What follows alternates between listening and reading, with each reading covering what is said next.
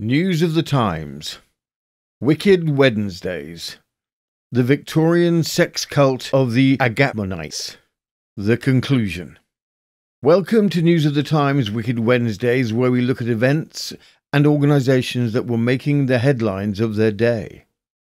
In today's episode, we're looking at the Agapemonites, regarded as a sex cult in the Victorian times.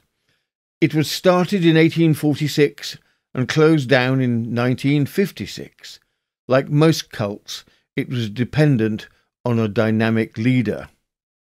The Agapemonites featured two consecutive leaders. In this concluding episode, we are looking at the successor leader of the cult, John Smith Pigott, and the final end of the Agapemonites. We really hope you enjoy the episode. Picking up from the previous episode of the Agapemonites, it is 1896. Founding father, Brother Prince, as he is referred, has come out of his self imposed retreat after the scandal of the public deflowering he performed in their chapel for spiritual reasons of a 16 year old Zoe. The scandal sent many of his followers fleeing, and Brother Prince was not to be seen outside his abode of love for many years. Funds have dwindled, and the communal settlement is in clear decline. But at the age of 85, Brother Prince comes out of the shadows and announces that he shall be building a new church.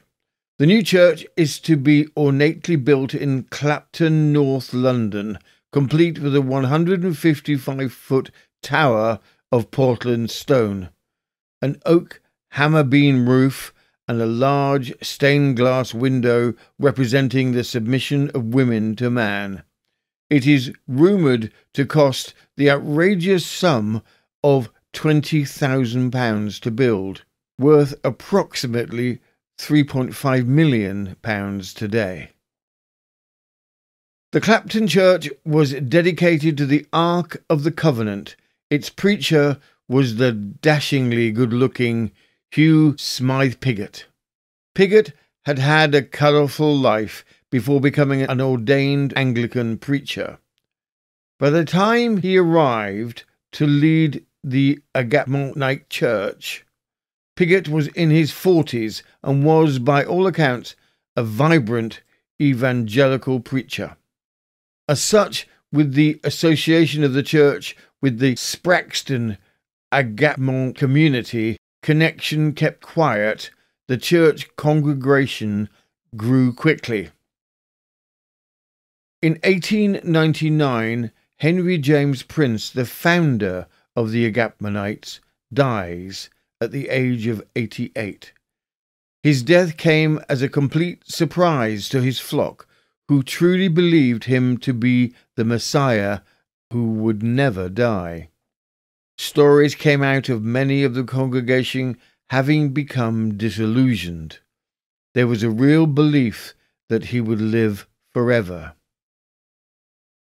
In September 1902, the Reverend Smythe Pigott was officially consecrated as the new Saviour of mankind at the Church of the Covenant in Clapton. A crowd of some 6,000 spectators booed and hissed him during his inauguration as the new Messiah.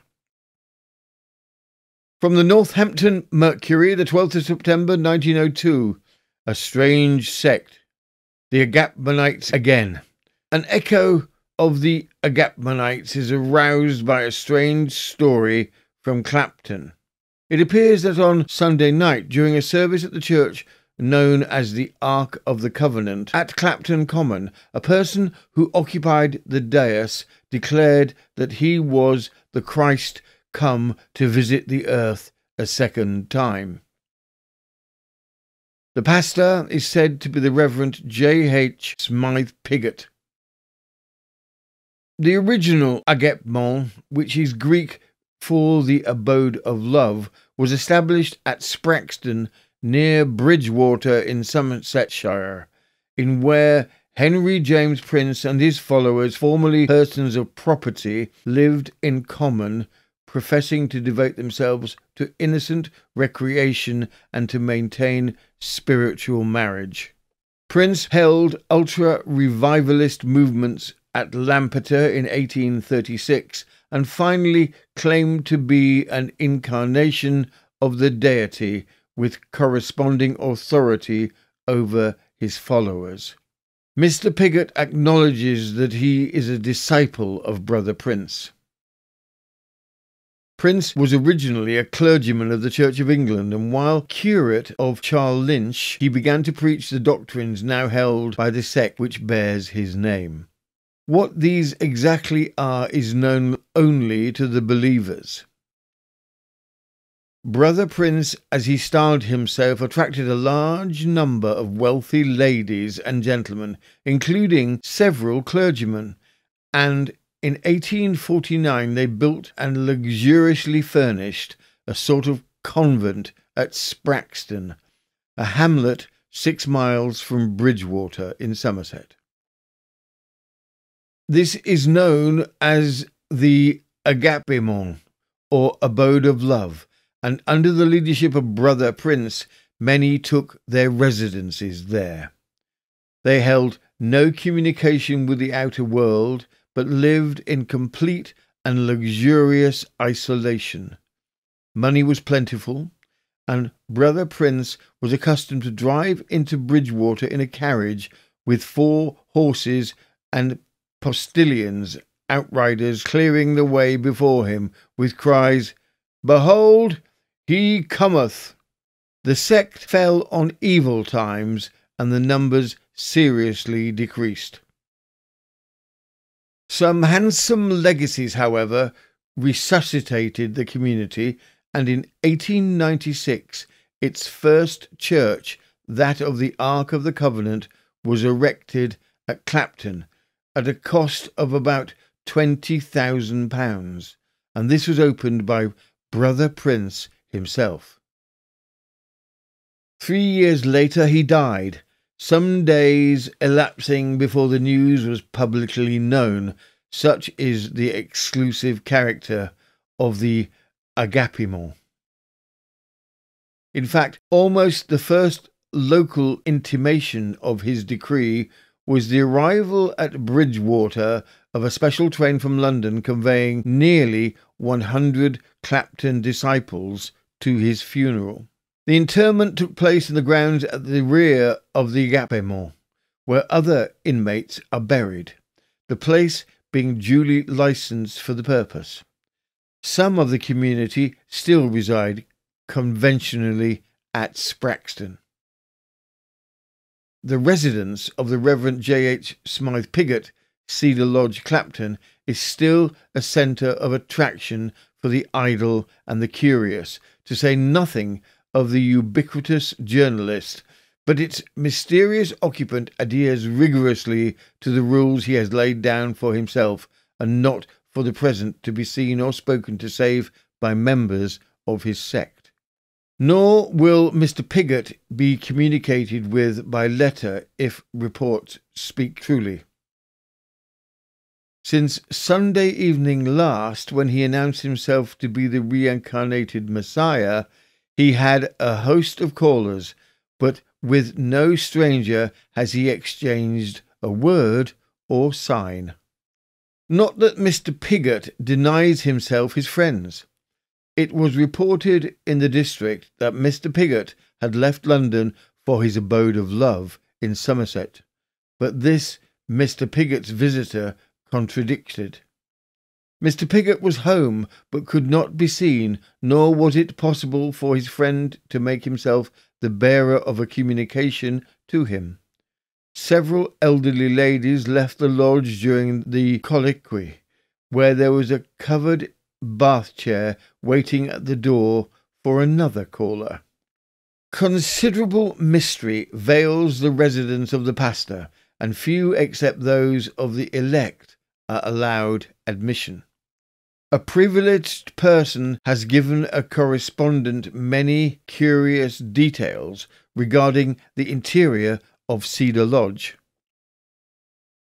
The household consists of Mr. Piggott himself and five servants, including the housekeeper. The latter interviews everyone who comes to the door. The house is furnished on a scale of luxury equal to that which characterized the abode of love, over which the notorious Brother Prince once provided. Studies of the nude are prominently disposed upon the walls of most of the rooms, including the reverend gentleman's bedroom. In the hall are many bronze statues of goddesses naked and unabashed, and an excellent billiard table points to sporting tastes. Mr. Piggott, indeed, is said to be a very good billiard player. Almost every day for the last few months, prayer meetings have been held in the house. Those present, with the exception the Reverend Smith Piggott being ladies, many of whom have driven up to the house in carriages. Rumour has it that he had attempted to walk on water on Clapton Pond, but the attempt failed.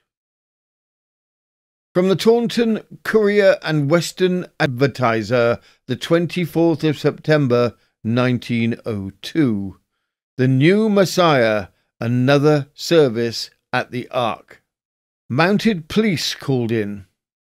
Another service was held in the Ark of the Covenant, the worshipping place of the Agapemonites at Clapton on Wednesday, but on this occasion strangers were rigorously excluded. Again, a large crowd assembled, but although the Reverend J. Smythe Pigott, who has gained notoriety proclaiming himself Messiah, was the victim of a hostile demonstration. There was an absence of the turbulence and violence which characterized the proceedings on Sunday morning. At quarter past seven, quite a couple of thousand people, male and female, must have been on the spot. Many of them cyclists, who had evidently come from a distance to gratify their curiosity. Subsequently, the Agapemonites themselves appeared on the scene, and after passing the scrutiny of the stalwart guards at the gates, they wended their way into the church, using the side doors for the purpose, and carefully avoiding the front entrance.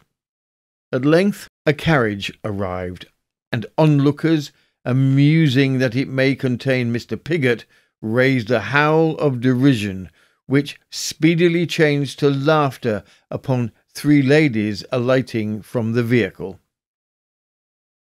A moment or two later, another carriage was driven hurriedly up, and as Mr. Piggott emerged, accompanied by his wife and secretary, and was greeted with a storm of indignation. Mr. Piggott appeared no way disconcerted, for he acknowledged the angry salutation by smilingly raising his hat. Exactly an hour was occupied by the service. The carriage was again driven up, but the crowd was kept at a safe distance. As Mr. Piggott walked towards the brougham, the people vehemently howled at him, but the reverend gentleman quietly took his seat after saying thank you to Superintendent McFadden, who was responsible for the police arrangements. The carriage, headed by a mounted constable, was driven to Cedar Lodge, followed by hundreds of people who made themselves hoarse with shouting. They gathered in front of the lodge, and stones are said to have been thrown, whilst an attempt was made to force the back entrance of the residence. Matters began to assume a serious aspect, but the mounted police were reinforced, and at last the throng dispersed. A public challenge to Mr. Smith. The Reverend W. Brown, who holds services in the Broadway Hall in Crouch End, has published a challenge to the Reverend Smythe Piggott in these terms I hereby challenge the Reverend J. H. Smythe Pigott to meet me in debate. The subject shall be his claim to be Jesus Christ, the basis of argument to be Holy Scripture. Either at Broadway Hall, Crouch End, or any public platform he may choose, I will meet him fearlessly and fairly. Mr. Brown concludes the Messiah established his position by arguments from the Old Testament and by working miracles. Will Mr. Pigott favour mankind with similar signs and by arguments from the Old Testament and the New? Pigott did not take up the challenge, but rather focused himself on upgrading the somewhat dilapidated premises at Spraxton, where he moved to. To regenerate the aging residents of the Agapemon, he vetted and recruited 50 young, nubile female followers to join the congregation. He modernized the abode of love with a telephone and motor car and had several new cottages built. New farm stock was brought in to upgrade the forlorn farm. Connections were made with visitors from the Norwegian chapter of the Agapemonites. Second wife. In 1902, the new Messiah, Reverend Pigott, took on a second wife, Ruth Ann Preece, from which he eventually had three children glory, power, and life. Three years after Pigott's divine status announcement, he was again in the news with this story recounted by the Registrar of Births and Pigott's new child named Glory. From the Weston-super-Mare Gazette and General Advertiser, 16th of August 1905.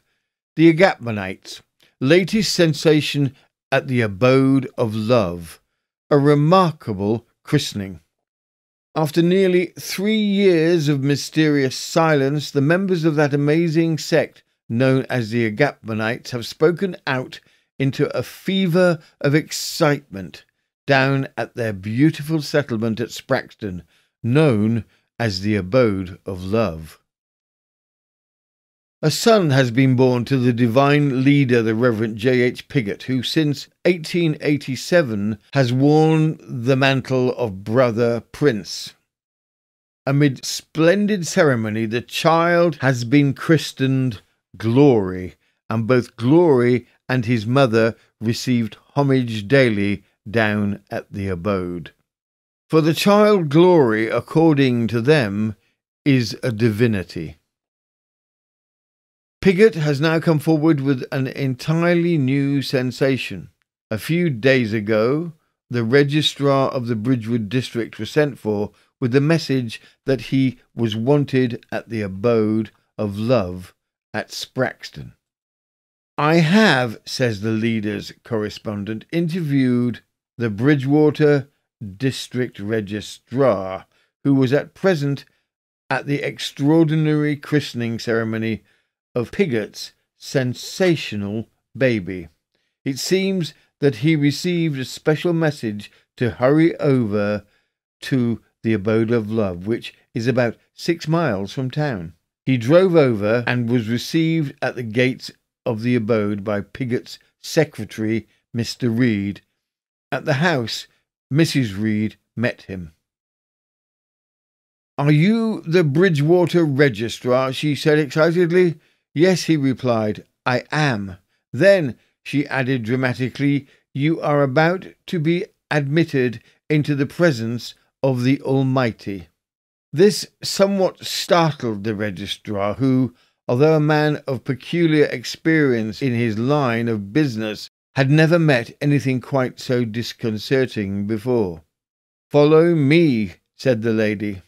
The registrar obeyed and Mrs. Reed led him into the sacred precincts of the chapel on which Brother Prince spent a fortune.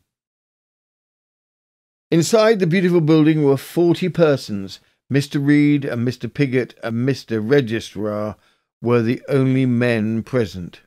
Two ladies were assembled in a silent worshipping crowd with their eyes fixed expectantly upon a lovely couch. Here, in costly clinging robes, lay a beautiful young woman, and at the foot of the couch was a tiny child dressed in snowy white. A silent woman knelt at the foot of the couch holding the baby. Who is the father of this child? asked the registrar.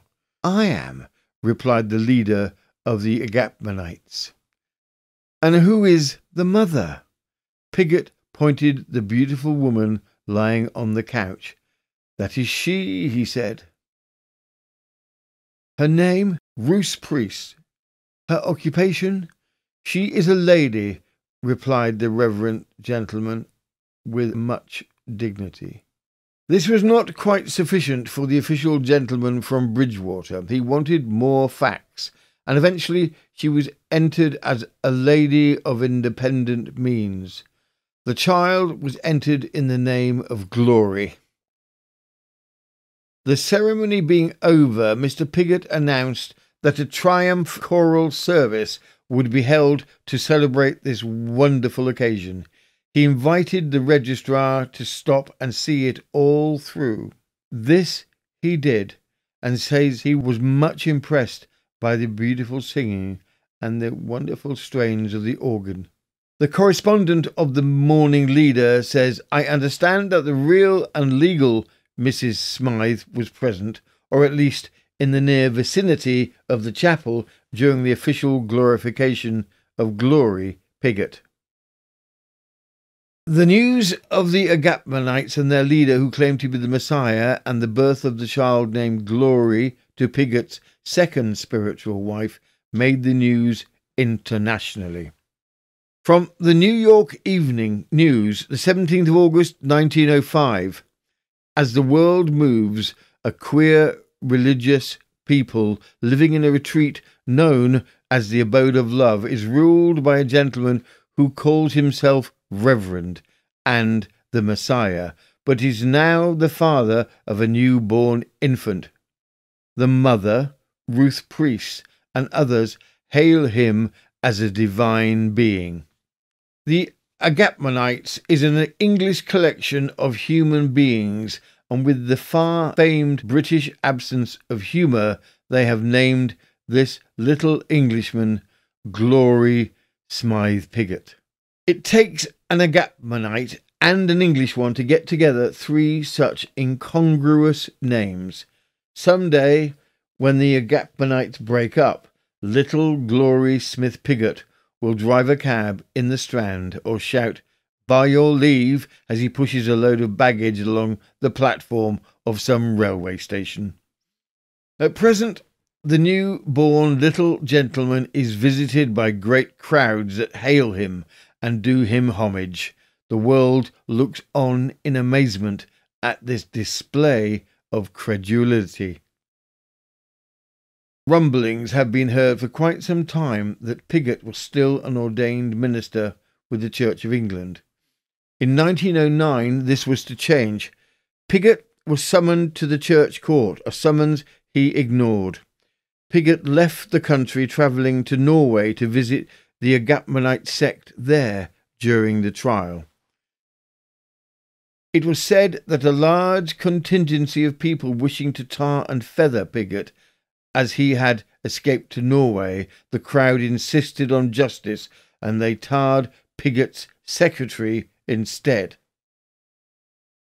From the Bexhill on Sea Observer, the 13th of March 1909.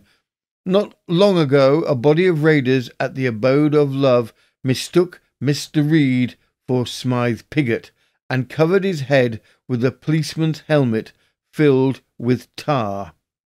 The ecclesiastical court demolished Piggott.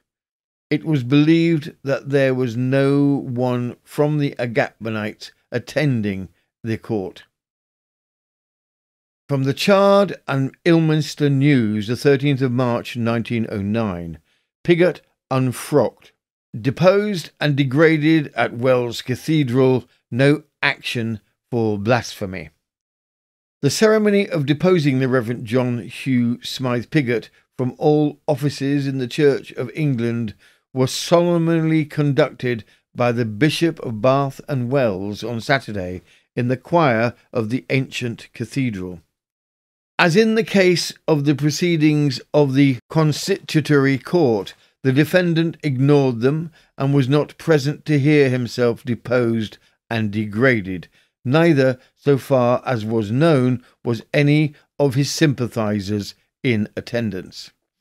As the proceedings were taken under the Clergy Discipline Act of 1892, the ceremony is fortunately a singular one, and the last of the kind was at Durham in 1897. The public have late been made familiar with the remarkable life of Smith Pigott and his disciples at the Spraxton Agapemon, and it is unnecessary to recall facts which have been regarded with abhorrence throughout the country. So far as Saturday's proceedings went, they failed to arouse special public interest in the old city, for fewer than two persons, including several ladies, attended to see the seal set on the hypocritical life of the Reverend J. H. Smythe Pigott. He is now entirely removed, disposed, and degraded from the offices of priest and deacon in the church, but whether it will have any effect on his future mode of life remains to be seen. The defrocking seems to have had little obvious effect to the encapsulated Spraxton community. However, clearly all was not well internally with this newsflash regarding the second wife Ruth Priest, attempting to escape from the enclosed community. From the Central Somerset Gazette, 13th of January 1911. Sister Ruth escapes again. The scandal, which has now for many years ranged itself around the peaceful little village of Spraxton in Somerset, through the conduct first of the notorious Prince and for more recently of the modern Messiah, John Hugh Smythe Pigott, looks like once more attaining to front place before the public eye. So states the penny illustrated paper. The journal adds According to the information supplied a few days before Christmas, Sister Ruth, Miss Ruth Annie Preece, who was for many years Pigott's chief bride, has again escaped. In company with another inmate of the famous abode, Sister Ruth left Spraxton three days before Christmas and immediately crossed the Channel to seek refuge with the Agapemonite friends on the continent. At the time of going to press, we have received further important information of a startling character that throws a new light upon Pigott's reason for pursuing Miss Preece across the continent. Our readers will be anxious to see this moral freak Smythe Pigott brought to bay before other innocent women fall to his persuasion. His career as a decoyer of the innocents is fast nearing the curtain. News reports announce that Sister Ruth is to be discarded and replaced with a new wife who conveniently brings with her £5,000. But even more astoundingly, Pigott is making a speedy retreat to the Agapemonite sect in Norway. It would seem that once he had been defrocked, he was now ripe for criminal investigation without the protection of the church. What had happened to funding that had been given to support the poor within the parish?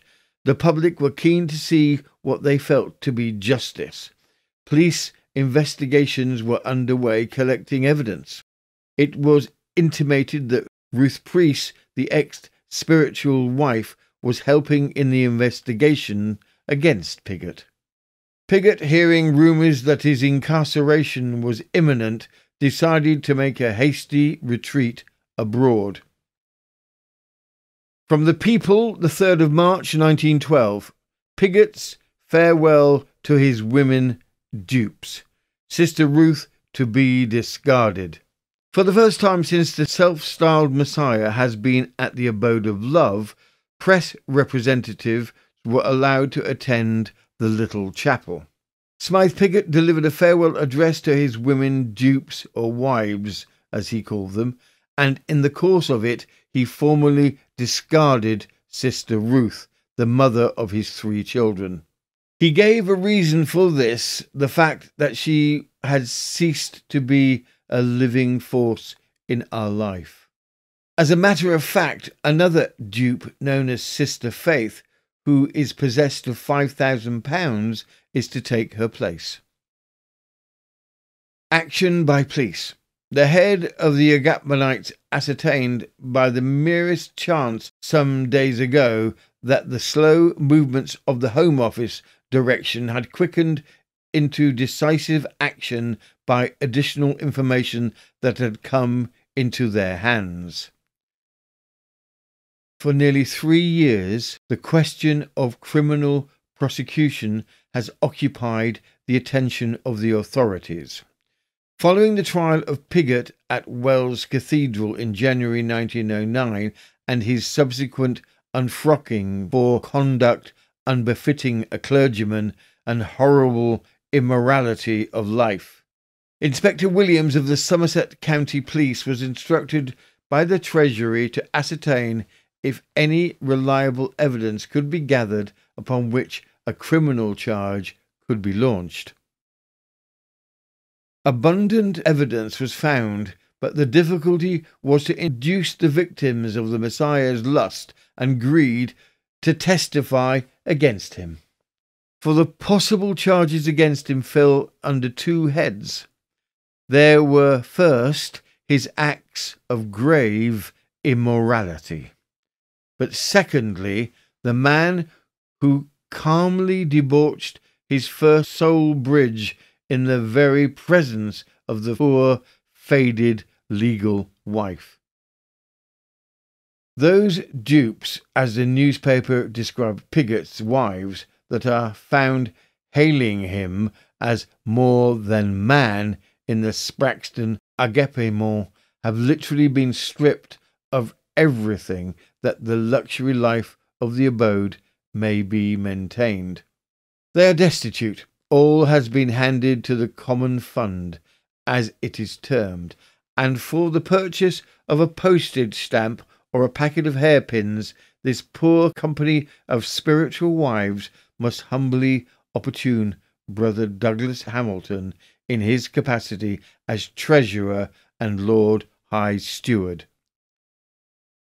The withdrawal of Pigott from this country, whether for a period or forever, is attended by circumstances that to no one person at least spells tragedy. Who has not heard of that forlorn figure in the Spraxton drama, Miss Ruth Annie Priest, very first of that company who fell into the subtle snare of the doctrine of spiritual wifehood? The tragedy of Ruth. If ever any woman has been the sport of idle, half pitying tongues, Sister Ruth has in his own house with his legal wife looking complacently on and murmuring the good pleasure of the master, Pigott took Ruth Annie Preece and, to use his own words, made spiritual affinity with her. To remain behind. Pigott is leaving the country immediately for Norway. Most of his brides, those lesser lights of love who console his harassed mind, are accompanying him. But Sister Ruth is not to cross the North Sea. The Messiah has had a revelation and has delivered the same to his obedient disciples. No longer must Sister Ruth be hailed as the chief companion of the head of the Agapemonites, for the Messiah has delivered himself of a second revelation to his docile flock. Sister Faith is in future to be the chief of this weird company of brides, who have stripped themselves of reputation. The English chapter of the Agapemonites was passed over to Brother Douglas Hamilton, a quite secretive man who was looked at as much more orthodox. The cult dwindled. Pigott later returned when the things had calmed down and seemed to turn his attention to spiritualism, paranormal, and seances. In 1927, Pigott died. From the Argus, Melbourne, the 12th of March 1927, the abode of love. The Agapemonite leader is dead. Notorious sect recalled. The Reverend T.H. Smythe Pigott has died at the Spraxton Agapemonite from influenza and will be buried in the grounds where the founder, Brother Prince, was interred. The inmates refuse to admit the death as they profess to believe that their Messiah lives on forever. Piggott's two sons and a daughter by Sister Ruth, who is chief of the Messiah's four wives, were at Spraxton at the time of Piggott's death, together with Sister Ruth and Piggott's lawful wife. Latterly, Piggott has turned to spiritualism and his services have been converted into seances. The sect of the Agapemonites having for its primary objective the spiritualism of the matrimonial state was founded in 1846 by the Reverend Henry Jones Prince, a clergyman of the Church of England.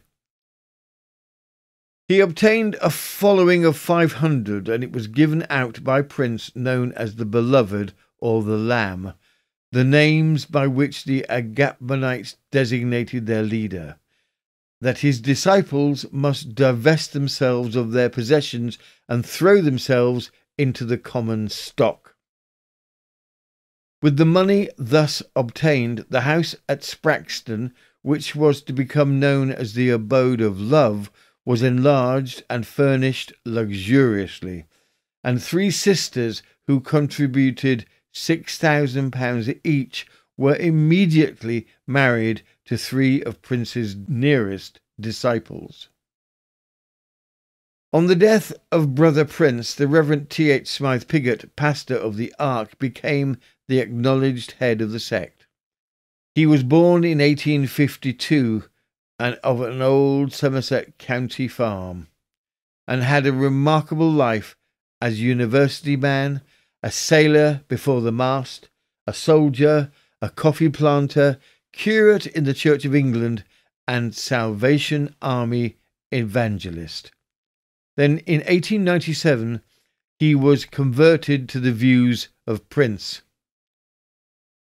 Piggott, after pronouncing most remarkable views in which he proclaimed himself as the Messiah, retired to the abode of love. In Somerset in 1905, a long silence was broken by the announcement that a son had been born to Piggott by his spirit wife, Miss Ruth Priest, an inmate of the Agapemone. The child was registered as Glory. The birth of a second child aroused so much public indignation that an attempt was made to tar and feather Piggott, and very shortly afterwards proceedings were instituted against him by the Bishop of Bath and Wells under the Clergy Discipline Act. By 1929, the sect had 33 women, one girl, and four men left as its congregation. Sister Ruth had also returned and, in an unexpected way, became the sect's leader upon the death of Piggott. Sister Ruth died in 1956 and the property was sold off in 1958. That concludes this episode of Wicked Wednesdays, the Victorian sex cult of the Agapemonites. The conclusion. We really hope you enjoyed this episode. We would like to thank our tremendous supportive subscribers. Thank you. Your comments, suggestions, and interaction is greatly appreciated. Thank you again. If you haven't subscribed, we would be very grateful if you did. We need a minimum of 1,000 subscribers to keep this channel alive. Please subscribe, tell your friends, and share on social media. We would greatly appreciate it. We upload five days a week. Saturdays are Serial Killer Saturdays, where we do an in depth look at a serial killer from our extensive database. The time span of these ranges from as early as the mid 16th century to the 21st century and encompasses men, women, children, and couples who kill. Sundays are eccentrics as we do an in depth look at some of the quirky, unusual, notable, and bizarre characters from Great Britain, which offers up a rich supply to choose from. Mondays are murderous, where we investigate in depth a historical murder. Tuesdays are twisted and usually involve a collection of stories based around a theme, such as stories of matricide or when employers go bad. Wednesdays are wicked in this new series that will explore outrageous organizations, bloody locations, and shocking events with a bit of murder and mayhem sprinkled in. From all of us at News of the Times, thank you again for watching or listening. This has been News at the Times, and I am Robin Coles.